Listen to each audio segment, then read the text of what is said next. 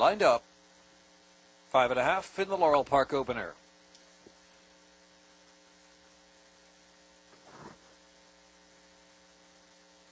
And they're off.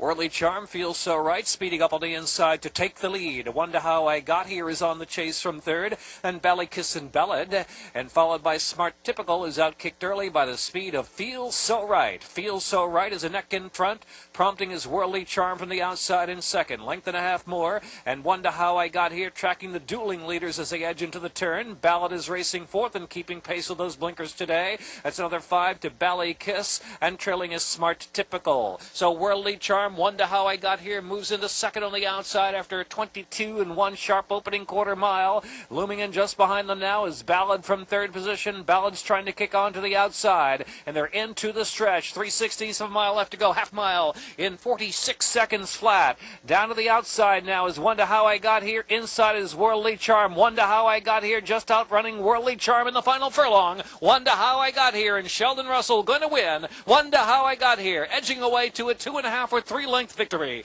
Worldly Charm second, Ballad third, and feels so right.